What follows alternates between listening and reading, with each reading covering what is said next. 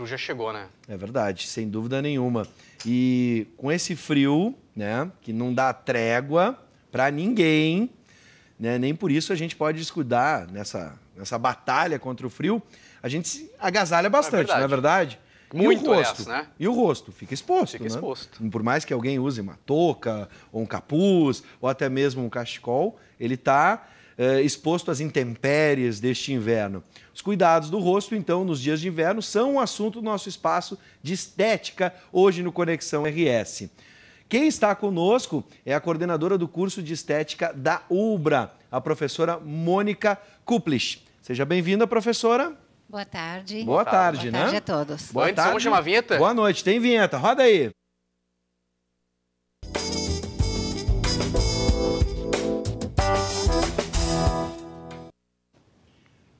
Bonita essa vinheta, né, Perdigão? Bonita, eu gostei bastante. Gostou? Parabéns aos envolvidos, viu? Exatamente. Agora temos o espaço de estética, né? Que às vezes também dá, dá, digamos, dá um link direto com a saúde Sim, também, né? Mas vamos certeza. falar da estética, da saúde da nossa pele. A professora hoje vai fazer algumas demonstrações para a gente aqui ao vivo, né, professora? Boa tarde. A gente já tem a nossa, digamos assim, ah, cobaia, né? A Andressa, que é, que é aluna modelo. do curso. Nossa modelo. Isso, a nossa modelo A hoje, nossa né? modelo, a nossa É, Eu modelo. confesso que a modelo tá com uma pele muito bonita, né? Tá bem Sim. boa. Não sei se é o caso do. Poderíamos ser nós, né, Perdigão? A gente verdade. podia ser, né? É porque nosso modelo. elas hoje. recebem tratamento também lá Claro. no, no curso, né? Claro. Né? Agora, professora, a primeira coisa que a gente sente no inverno, principalmente com, com, com o vento do frio, com o vento do, nosso, com o vento do nosso inverno, são os lábios ressecados. O que, que a gente pode fazer? Sim. É, tanto a questão dos lábios como a pele, né, todos sofrem com esse ressecamento que vem do inverno, como você mesmo coloca. E a ideia é, dá para fazer hidratação sempre, mas principalmente também não só hidratação, quanto fazer esfoliações. Porque esse ressecamento acaba deixando algumas crostinhas nos lábios. E que depois, s- como a pessoa não conhece bem do que, que se trata, às vezes com os próprios eh, dão mordidinhas, acaba retirando essa crostinha e machucando. Então é interessante fazer esfoliações nos lábios e hidratação sempre. Sim. E os homens eh, ter o hábito, hábito de usar esses batons que tem de manteiga de cacau, né, que são hidratantes. E as mulheres, então, podem usufruir, usar e abusar dos batons. Muito bem.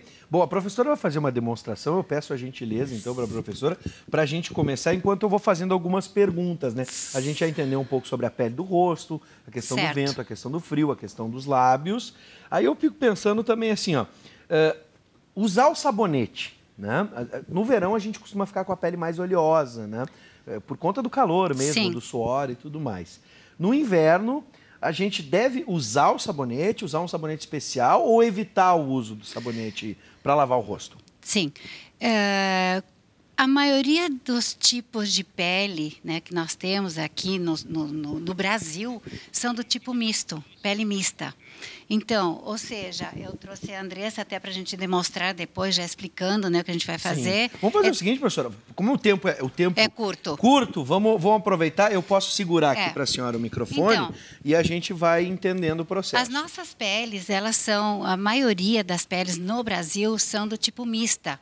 Ou seja, nessa região aqui medial, essa zona T que se chama, ela é mais oleosa e com ressecamento nas laterais. Sim. Então, essa questão no inverno, no, no verão, por exemplo, aqui nessa região, chega às vezes a pessoa que tem uma pele mais oleosa, ela passa o dedo e vem uma gordura, né, o sebo natural da pele.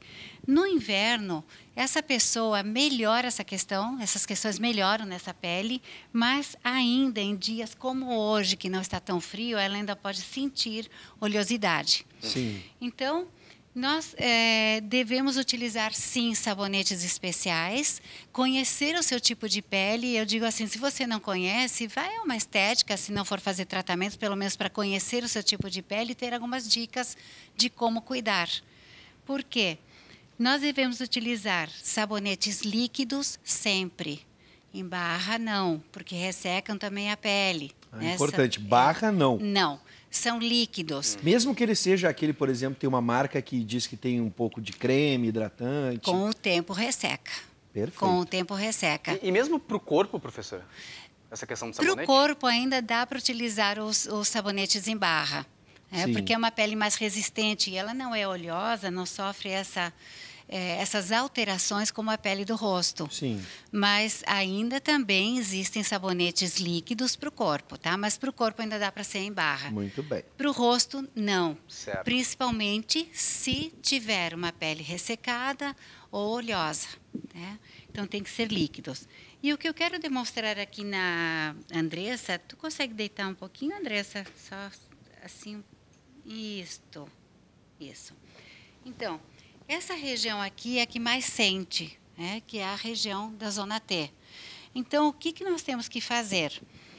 Ah, nós sabemos que a renovação da pele acontece a, 28 a cada 28 dias, né? Enquanto jovens, quando a pessoa tem mais idade, como a partir dos 50 anos, isso leva um tempinho um pouco maior. Mas mesmo ela renovando normalmente a cada 28 dias, nós mantemos aqui uma camada de pele morta, que é a camada córnea, Sim. com queratina. Então, isso é importante retirar, porque senão os hidratantes não resolvem, não fazem efeito. Perfeito. né? Então, eu quero demonstrar para as pessoas como se deve fazer essa esfoliação. Vamos ver. Eu trouxe aqui, nós temos sabonetes esfoliantes Pois que não. já fazem a, a limpeza e esfoliam.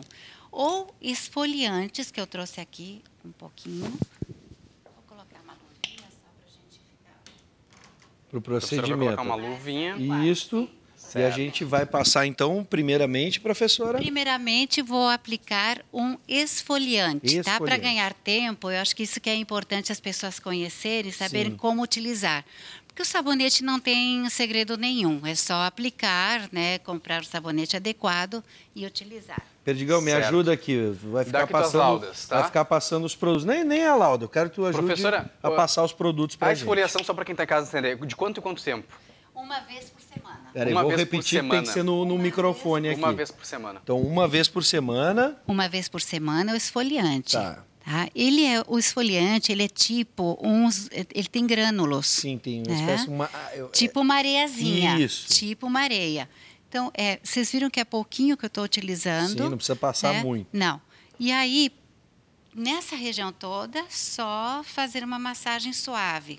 Mas nessa região da zona T, onde acumulam cravinhos, que nós chamamos de comedões, onde a pele fica um pouco mais espessa, tem que fazer essa massagem Sim. que quando a pessoa faz sozinha, eu estou fazendo atrás dela, mas é só pegar, utilizar aqui os quatro dedos, as três, e fazer nesse sentido. E depois subir, Uhum. né? E principalmente o nariz, né? Que no nariz a gente tem sempre cravinhos. Então, segura de um ladinho, segura do outro. Se for em si mesmo, segura de um lado, fricciona e do outro também. Perfeito. E Dá aqui pra na ver testa? Que, que vai mudando Olha. a coloração, né? Deve Não, ser, e vocês vão ver que a pele, a pele, né? a pele clareia. Então, às vezes as pessoas reclamam que a pele, ah, minha pele está muito escura, ou tem manchas, né? Sim. Mesmo os jovens já tem manchinhas. Quando utiliza a esfoliação, ela faz essa remoção. Perfeito. Certo. A senhora quer que eu lhe alcance algum produto aqui?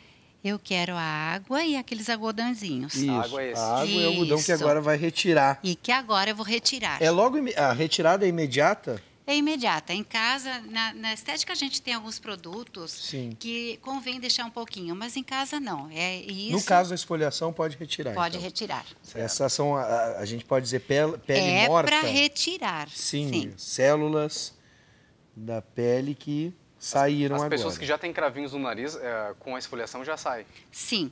Na Andressa, ela estava com maquiagem. Eu poderia ter colocado um sabonetinho primeiro, mas devido Sim. ao tempo, a Claro. gente foi direto para o esfoliante, que acho que é- as pessoas não conhecem. Sim, É, nós indicamos bastante na nossa, no nosso laboratório de estética e as pessoas às vezes não conhecem. E compram produtos, às vezes caros, Sim. né, de, de marca, caros para hidratar ou para tratar rugas, enfim, manchas, e os produtos não fazem o efeito adequado porque tem toda essa camada de célula morta que seria como um cimento. E esse, esse aspecto avermelhado que ela ficou um pouquinho faz parte, né? Porque afinal de contas a pele foi friccionada. Faz parte. Por isso que eu friccionei mais nessa área do Sim. meio, que é uma área resistente. Pode ser mais dois algodões, por favor, e aguinha. Tá. Essa área mais resistente, a gente pode fazer uma esfoliação um pouquinho Sim. maior. E aqui, menos. A pele da Andressa, que eu já conheço, né, ela é uma pele sensível. Sim. Então, a pessoa... Pele clara, geralmente. Pele clara geralmente é mais sensível. Sim. Se a pessoa conhece sua pele, se a pele fica avermelhada com facilidade, não friccione tanto. né? Perfeito. Então, vai aplicar um pouco mais suavemente. No caso de se tratar de uma pele sensível, essa que a gente está falando, que fica vermelha facilmente, ele pode, a pessoa pode usar um sabonete esfoliante, que no mercado tem várias marcas também com esse tipo. Então, enquanto faz Aí é o dois em um. Dois em um, Dois em um, é. perfeito. Dois em um. Perfeito. Agora, vamos então para o último procedimento, ou pelo menos por hoje, né? Uma outra coisa importante é o uso de uma loção, Sim, uma loção tônica. tônica. Se você pode ser Qual é, aquele professora? branquinho, esse é o, ali na frente. Este aqui, por favor. Pronto. Eu não entendo muito bem, né? É, Mas a gente está aprendendo. estamos aprendendo, volta esse é o objetivo. Pronto. É, por exemplo, como a pele da, da Andressa ficou um pouquinho vermelha, que é normal e é saudável, Sim. porque quando fica vermelha houve um aumento da, da, da circulação. E isso é importante para a renovação do oxigênio né? e a renovação dali da circulação local.